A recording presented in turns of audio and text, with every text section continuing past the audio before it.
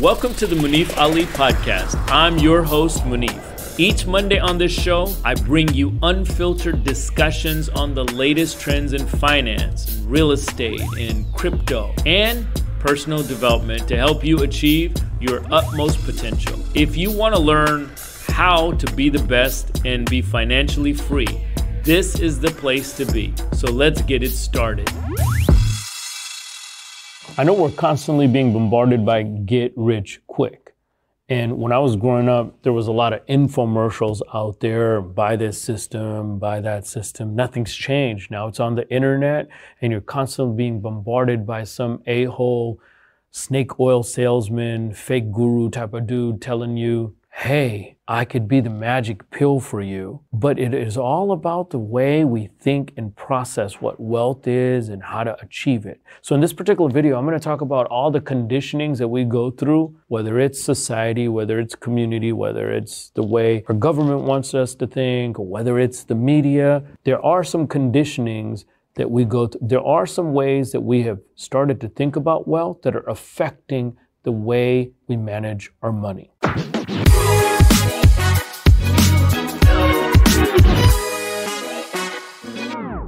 I'm your host, Munif Ali. I'm a self made multimillionaire who built multiple brick and mortar businesses with billions of dollars of sales. If you want to become financially independent, you've come to the right place. We discuss unfiltered opinions and tips about the latest trends in the world of finance and personal development.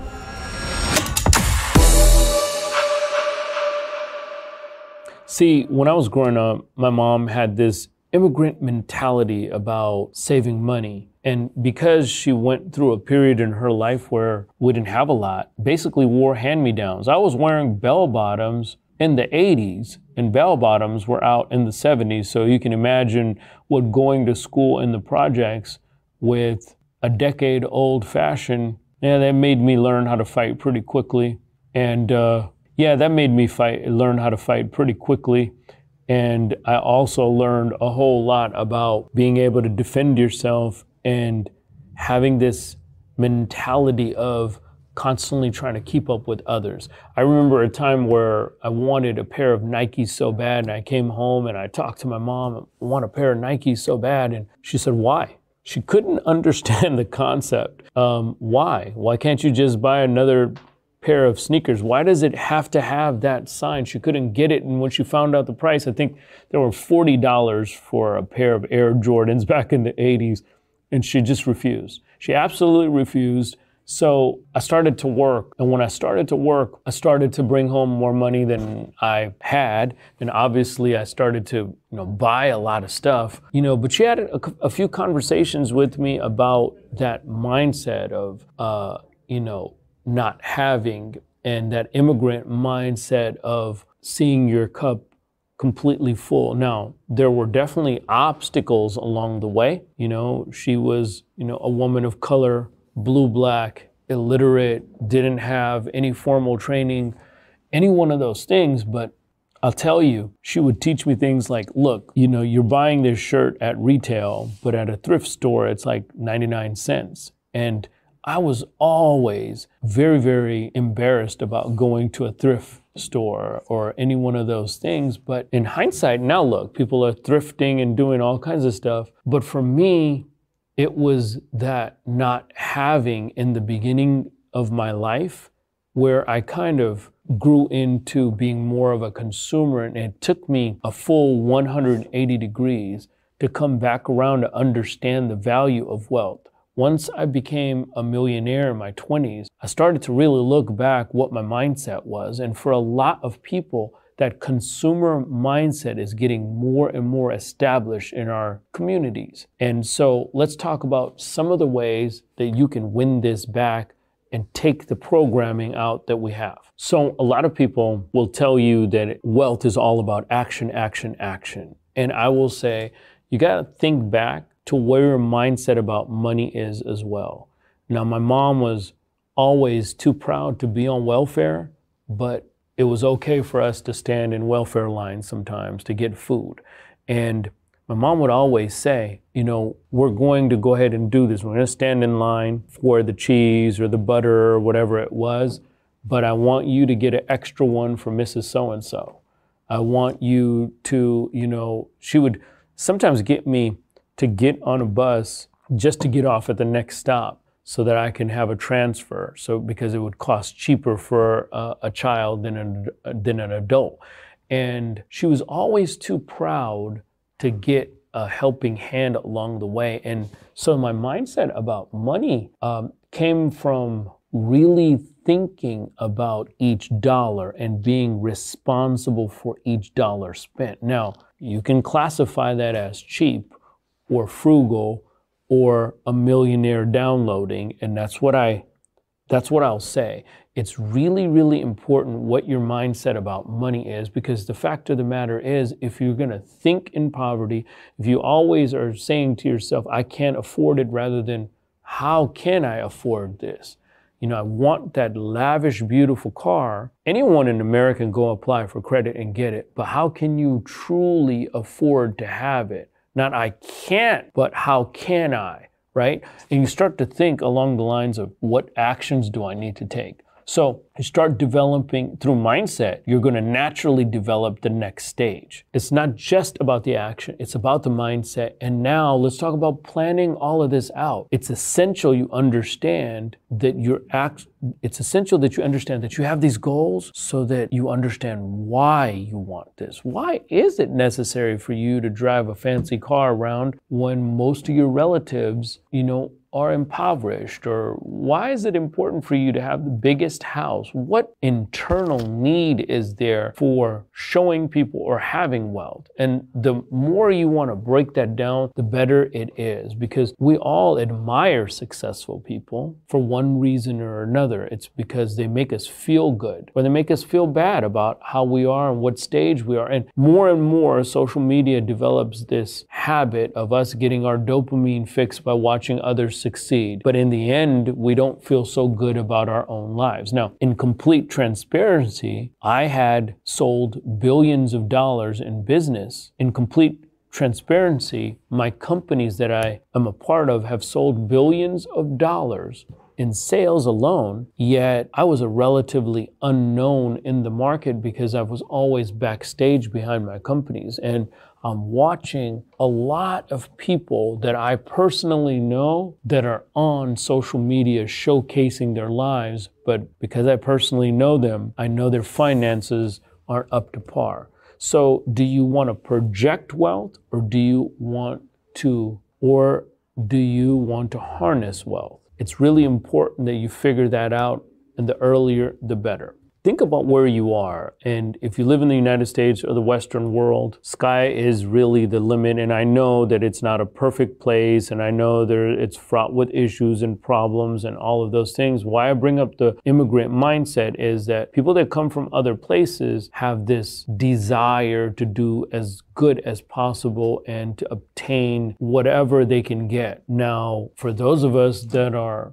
from here, how do we get that mindset? Well, you don't have to be an immigrant to have that mindset, but you have to develop that drive by having that plan and knowing it's not resources, but it's more like resourcefulness that keeps us from getting to our highest selves. It goes back to the conversations that you're having with yourself and others. If you constantly think from an impoverished mind, then your actions will be that of an impoverished person.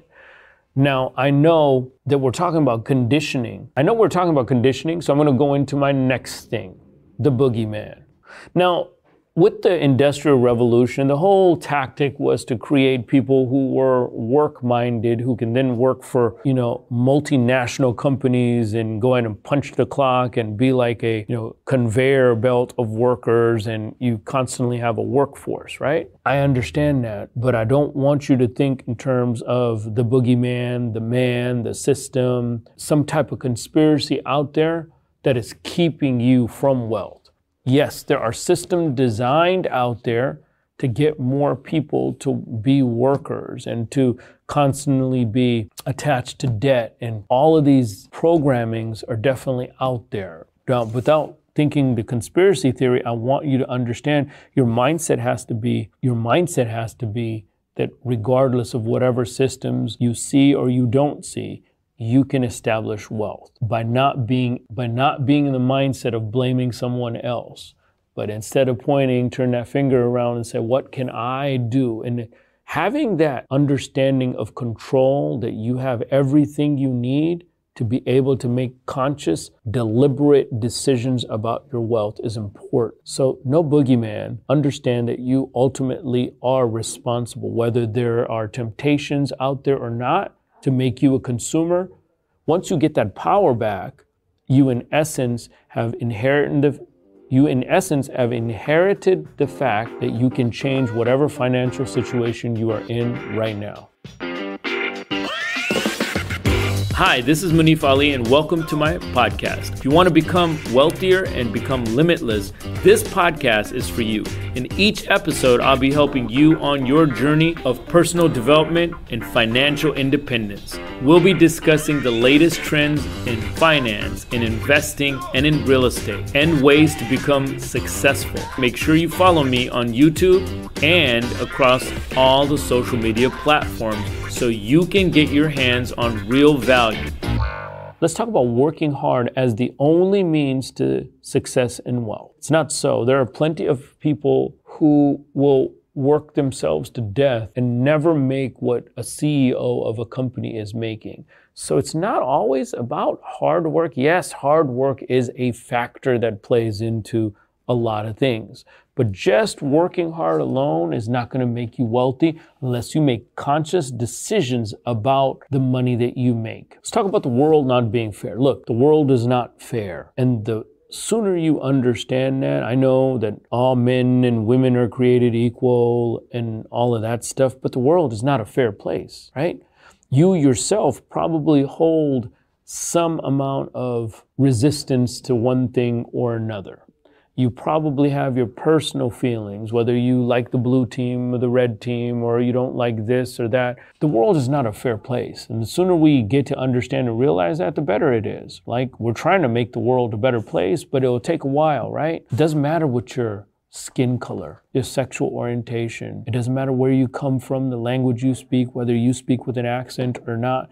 The faster you understand it's not fair play, and it's not always going to be fair. And it doesn't matter if you're a winner on one side or you're born with a silver spoon. There is an example for you to see right now in this modern world of someone that looks just like you or has the same issues as you or has is from the same type of socioeconomic situation as yourself that has made it the proof is there. So learn to understand the world's not fair. It's never going to be fair totally. We're trying to improve it, but it doesn't matter what deck or what hand you've been played. You gotta learn to understand. You gotta move the needle forward constantly. You might have to work twice as hard as someone else. You might have to work three times as hard as someone else just to live in the same neighborhood as them. But the fact of the matter is, the more you, the faster you understand the world's not fair and that you might have to do more push-ups just to get the same muscle someone else has. Oh well. One, one of the ways that people are conditioned to be poor is that constantly thinking about the problems rather than the solutions. And the moment you start to make that mental shift, you're a solution oriented person, not just a problem. An impoverished poor person will always see a problem, want you to always think, and regardless if you make it to a millionaire or not, if you see your life as a problem solver rather than a problem creator or someone who brings up problems, the wealthier you feel because wealth is not just about the cheddar, it's also about the abundance of how you view your life. Thanks for tuning in. Make sure that you leave a rating on my podcast as it will help us continue this show. Share this with your friends and family so I can reach out to more people and help them reach their goals in life. I hope that you could join us on the next episode of the Munif Ali podcast. So catch you soon.